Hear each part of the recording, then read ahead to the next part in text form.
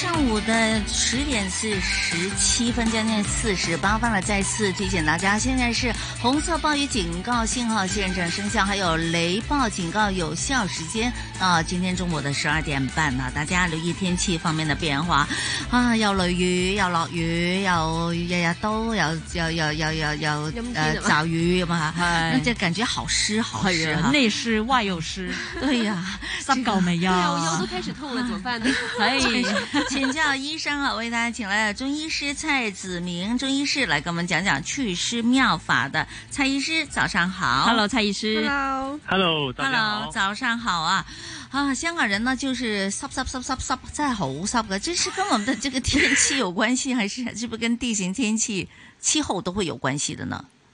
对，其实呃，因为人体啊，中医说这个天人合一，其实我们身体啊，除了受情绪。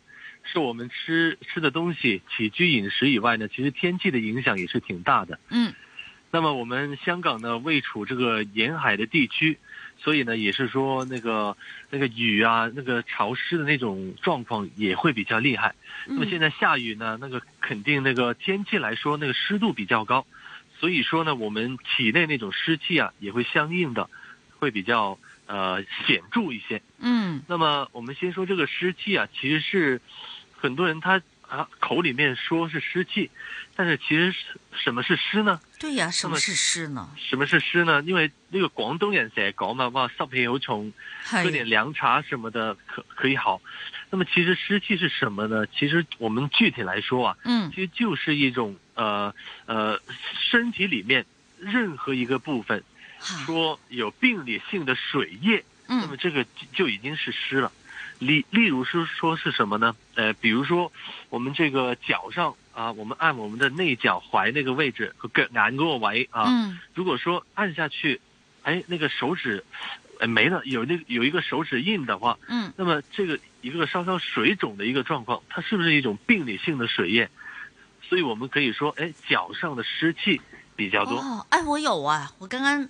马上就诊治了自己，就就去试摸了自己一下，有个白印嘛，就手压下去，它会有一个就是白的那种，即有个印，你觉得揿揿咗一下个印啦吓。嗯，对对对，而且那个回弹力不太高的话，那么你的那个水肿就特别的厉害嘛。但是呢，我们说其实如果从这个。我们医生肯定是检查可以检查到很多东西，但是如果病人自己去留意的话呢，湿气重啊，其实有三种方法我们可以留意一下，什么样的一个身体湿呃湿气会比较重。第一呢是起床的时候，你困倦的程度，嗯，就是说自己睡眠时间会不会已经很充足了，但是仍然那个精力充沛的感觉是没有的，嗯。即系起身觉得好攰，成攰攰嗰种感觉。誒，但是即係唔係眼瞓嘅，係攰嘅。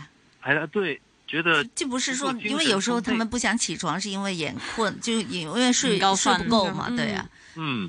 但那状态应该是不一样的，是吧？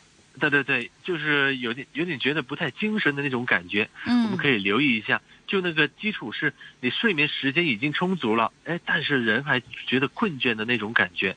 那么这是第一个症状，第二呢，就是说我们上厕所的时候，那个大便的稀溏的程度，嗯，稀溏的程度，就是说我们中医啊，问诊的时候会问，哎，你的大便怎么样？是干的还是稀的？嗯，那么从从这个程度，我们可以看啊，如果我们大便的那个呃质地，它是比较不成形的，嗯，而且会不会？比较我们平常的大便呢，比较臭一些，嗯，有时候甚至有那种拉不干净，一天要拉数次才能够安心的那种感觉，嗯，那就是说，它的大便当中已经体现了整体的呃人体的一个湿气，嗯，比较多，嗯，如果说这个。因为湿气它是一种病理性的水液嘛，嗯，所以说我们拉出来的时候，哎，见到这样的一种湿气的表现，其实就是一种水液从身体排出的那种感觉。好，嗯嗯，第三种二，第三种，第三种呢，就是我们早上刷牙的时候啊，可以稍稍观察一下自己的舌苔。对，观察自己的舌头，那那个舌头啊，我们轻轻的伸出来的时候呢，正常的舌头啊，它颜色呢是淡红色的，就淡淡的粉红的那种，比较漂亮的。那我们那个苔呢，我们经常有些病人他可能会自己啊，早上起来的时候会刷那个舌苔，其实是没什么作用啊。第一哦。除非那个舌苔真的是很厚很厚的舌苔，嗯，才会引起那种口臭的状态。嗯，一般来说呢，这个舌苔和我们的那个口口腔的那个问题啊，是关系不大。嗯，所以说我们不刷它的时候，我们看中医啊，中医就能够用这个舌苔来判断一些身体的状况。嗯，正常的舌苔呢，它是薄薄的一层白色的苔，哈，比较好。比较好，有胎是比较好。那么，如果说我们早上起来看见自己的那个舌苔，它是比较厚，哎，比较厚，而且那个质地啊很腻，而且滑，很湿润的那种感觉，是不是看起来有点有点，可能稍稍。那个不太干净的样子，嗯，那么这个就是说我们的身体啊也是有湿气的表现。哦，原来这样子。呃，但这个呃舌呃舌苔如果太厚，或者是嗯舌头没有舌苔正常的话，是否就应该是没有感觉的？呃，对我我的意思就是说呢，当你就是。我没有湿气或者没有其他症状，你的舌头呢是正常的。按道理你不会经常觉得你的舌头会会有一种涩涩的感觉啦，嗯，或者是苦的感觉了，就你应该是没什么感觉的，就是一个正常的舌头，是不是？对对对，如果说一个正常的人的话，嗯，他不会出现那种口干呐、口苦啊，而且舌头会有那种干涩那种感觉，肯定是身体有一些问题、有一些警号来告诉我们。但是我们今天说这个湿气啊，除了我们刚刚说这些舌头的那个颜色、呃那个苔的一个厚薄的那个状况以外，嗯，还有一些人呢，他湿气比较重的时候，哈，舌头啊会发胀，嗯。有一些顶住那个牙齿的时候啊，经常会咬到自己，对对。哎哎哎，好。而且有那个齿痕，对对对。那么这个也是一种湿气的一种症状。就腮两腮也会发胀，是不是啊？因为那些自己会咬到自己的，是不是？我也听人家说哦，累死黑了，是我挠挠的是这腮边的那个也会。这到底是湿还是热气呢？有人觉得这个要。嗯，这个要要看那种状况了，看看其他的那种状况。你看我们刚刚说的，只是说舌头它嗯发大了，就是说它的边边缘的上面呢有一种齿痕。我们看这个舌舌头啊，就好像是一个比较啊吃很多东西的人，然后。他的那个呃呃身体啊，比较困重那种感觉。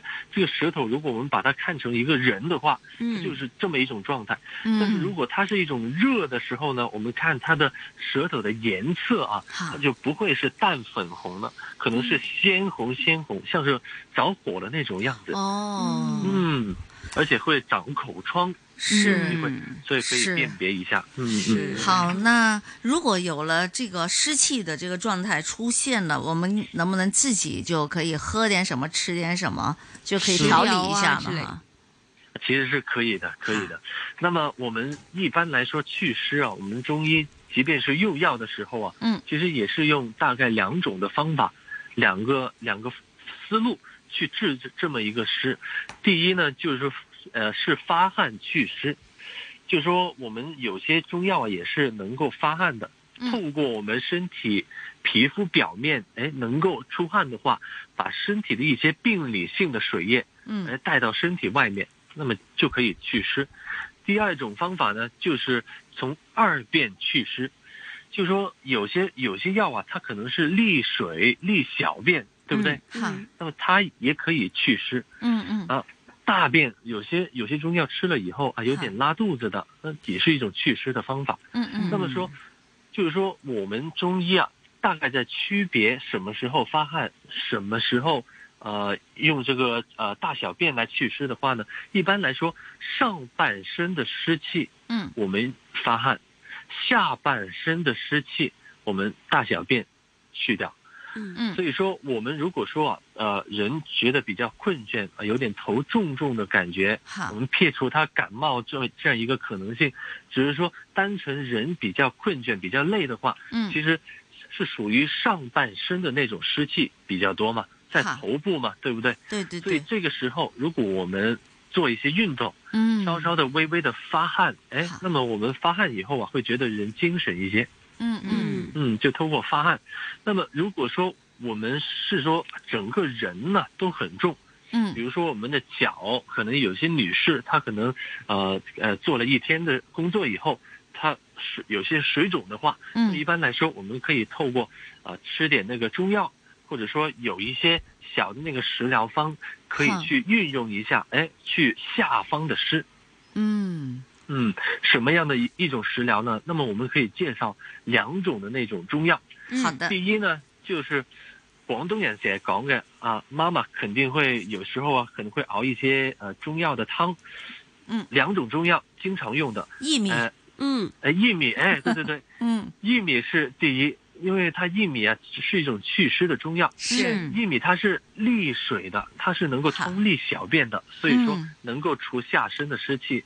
一般来说呢，我们因为它是一种成熟的一种种仁，它是也是一种果果仁嘛，那么。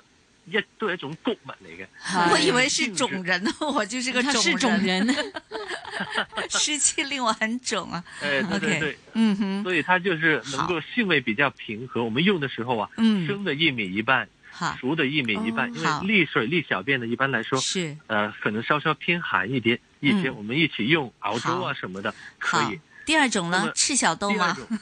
赤小豆可以可以，广东人经常用的，但是我们中医用的那种赤小豆啊，可能跟平常的不一样。好，平常的赤小豆就是能够祛湿。嗯，我们中医用的那是那是一一种发酵了的，但是我想说的这种呃呃，碗灵巴笋啊，还有那个白菱、嗯，茯苓就茯苓白术，嗯嗯呃，白术。